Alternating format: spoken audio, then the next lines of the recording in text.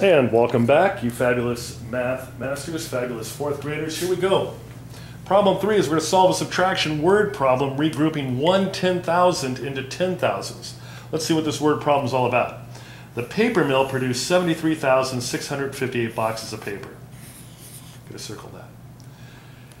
8,052 boxes were sold. I'll circle that. What we need to find is how many boxes remain. So let's do a tape diagram.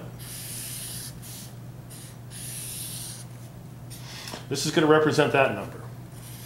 The number of boxes of paper. Okay, they sold 8,052.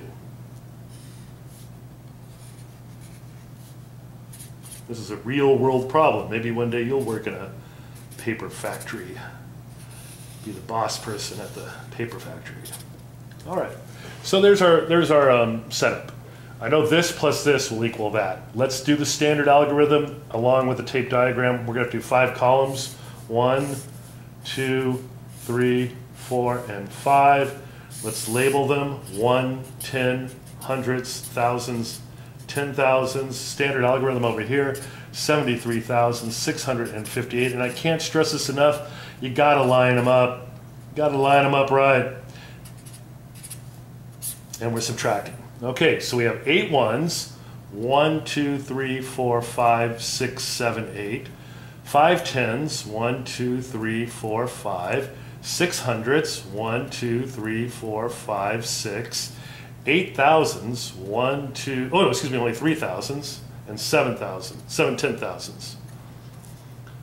Okay, 73,658. 8 minus 2, doink, doink, less was 6.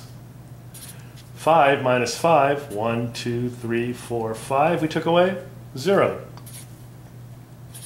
6 minus 0 gets to stay 6. Put our comma there.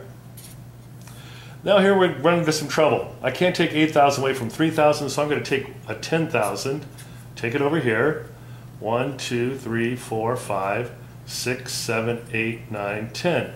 Now I'm going to have, look, 6 10,000s and 10, 11, 12, 13 thousands. 13 thousands. Let's take away 8.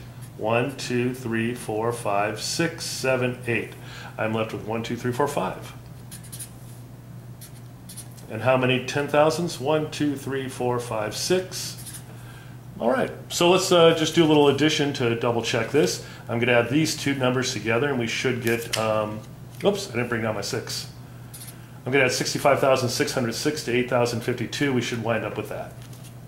So let's do 65,606 plus 8,052.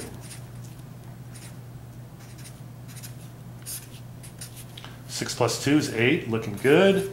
0 plus 5 is 5, still looking good. I'm going to run out of room. 6 plus 0 stays 6. 5 plus 8, 13.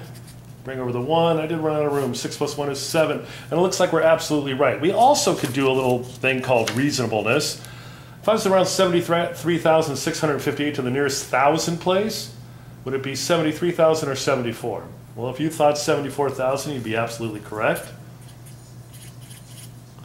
And then this round to the nearest thousand, of course, is 8,000. And we subtract 0 minus 0 is 0, 0 minus 0 is 0, 0 minus 0 is 0. And 14 minus 8 is 6. So we have 66,000 as an estimate, awfully close to 65,600. So if they said, about how many more boxes do they have left, you could have rounded and came up easily with 66,000, and that would have been pretty close to 65,606. So there are 65,606 boxes remaining. Got to get your salespeople busy and have them start selling those boxes of paper. A big sales meeting. All right, go get your problem set, but before you do that, take a little break. Go tell mom and dad you love them, get a drink of water, get a bite to eat. Hug your baby brother and sister. Tease your older brother and sister. Run around the house, singing and laughing the entire time, and I'll see you in a little bit. Oh, wait, look who's here. My dog, Paulo. Paulo, speak. Watch his other trick. Paulo. Whisper. Paulo. Whisper. No. Whisper. No. Whisper. Whisper. Don't. Whisper. Whisper. No, he's not going to whisper for us. Are you? Gonna whisper? No? Okay.